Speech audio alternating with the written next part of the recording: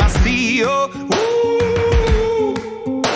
I was broken from a young age, taking my soak into the masses, writing my poems for the few that look at me, took to me, shook at me, feeling me, singing from heartache, from the pain.